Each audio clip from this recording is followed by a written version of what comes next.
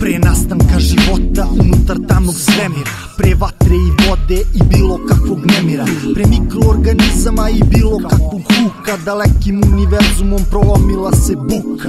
To je bio prvi znak kreacije zvuka Moćnog boga ruka unutar eksplozivnog kruga. To se širilo u naokolo milijardama godina. Sve dok nije počeo sunče sistem da se formira Kuvitlacem prašine usred zvezdane tmine.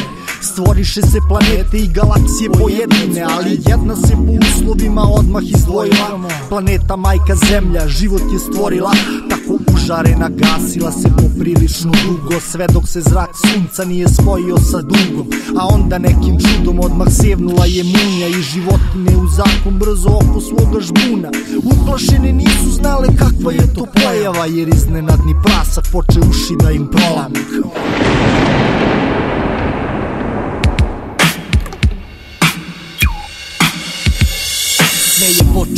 počelo u Bronxu 74. Kada su DJ-evi krenuli funk da vrte. Uz pomoć dva turntabla pravili su break beatove Sekli su od James Browna neveći hitove. Uz određeni deo pesme stvarali su pokrete. Neverovatne korake i neverovatne okrete. Nakon b-bojeva dobili smo vrajtere Koji sprejo bombarduju vozove i kvartove Prelepi grafiti koji krase okolinu Svojom jedinstvenošću privlače sredinu.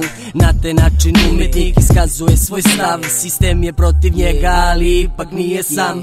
Pored zvuka pokreta i DJ-evih reči Niko nije mogao MC-eve da spreči. Na ulici, na bini da iznesu argumente.